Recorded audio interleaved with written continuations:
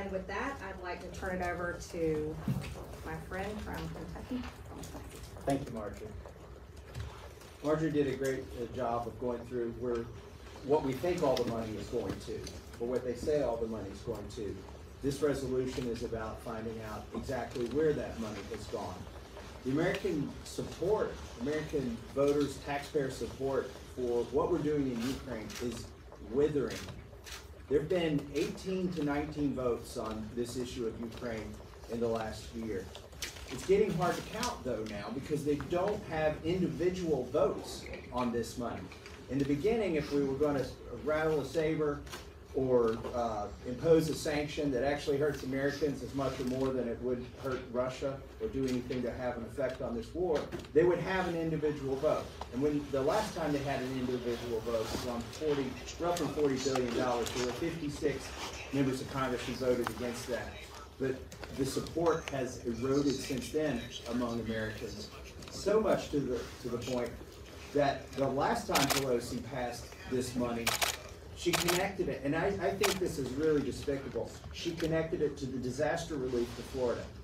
Think about that. In order to provide relief to people who were victims of a disaster in Florida, you had to increase the chance of nuclear disaster by sending money to Ukraine and throwing fuel on this fire.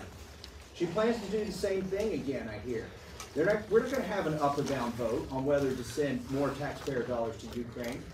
We're gonna have, she's gonna include it with response to viruses and response to more uh, tropical storms and hurricanes. It's all gonna be in there. So that if you don't vote for this, then you can, she will go out and have a press conference like she did last time and say, well, the Republicans didn't vote to help these people. I wanna put, uh, put out some numbers here for you so you can compare what, we're- what we're talking about, the amount of money that we're talking about. We're talking about billions, not millions. And I've been fact-checked on this, so don't bother fact-checking it now. We've survived the fact-check. We've spent more in Ukraine, the US Congress has, than we spend on all of our roads and bridges in an entire year. The entire infrastructure of this country, the roads and bridges, the real infrastructure. We don't spend as much on that here as we've spent on Ukraine in nine months. I think that's despicable. Our priorities are all out of whack. And I'll, I'll finish with this. We're trying to get the documents here to find out where the money went. What we really need is a full audit. I hope when we take the majority, we will get a full audit. We need an inspector general. In Afghanistan, we were spending about fifty billion dollars a year, five zero billion dollars a year. John Sopko was the uh, special inspector general of Afghan reconstruction there, because also it, you know, they call it reconstructive money, they call it military money, just like Ukraine. It's all a big pool of money.